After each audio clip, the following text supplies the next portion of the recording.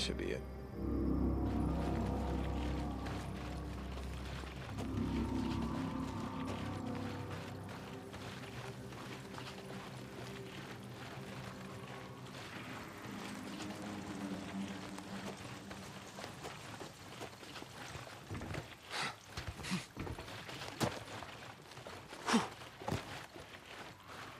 Yes.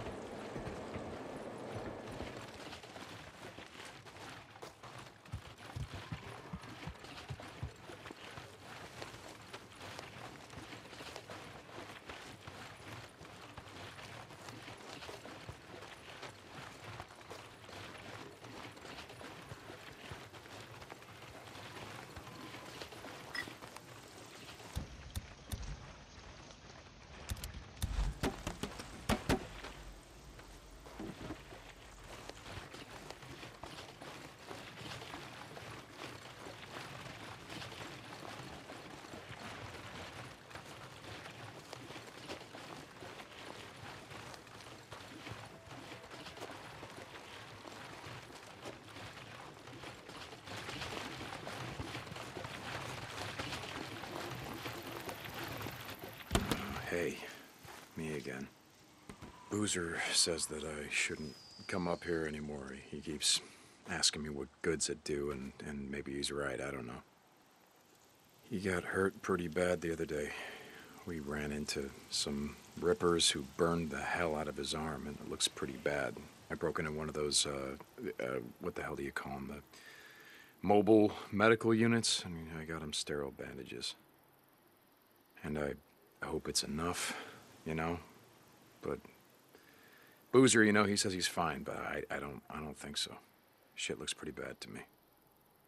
See, the thing is, it was on me. I risked his life for a bike part. Goddamn bike part. Not that it mattered, son of a bitch Copeland parted it out anyway. Took me a year to put that bike together. You would have liked it. It's not as nice as the one that I taught you to ride on, but it got me around. Do you remember that tank that you had painted for me? Oh, that was the only thing left of that old hog, and now it's gone too. As soon as we get it back together, I, my bike, I mean, and get Boozer patched up, we're gonna ride north. Fresh start. You know, a lot of memories around here. Too many. Anyway. I guess I'm just saying that uh, I might not see you again?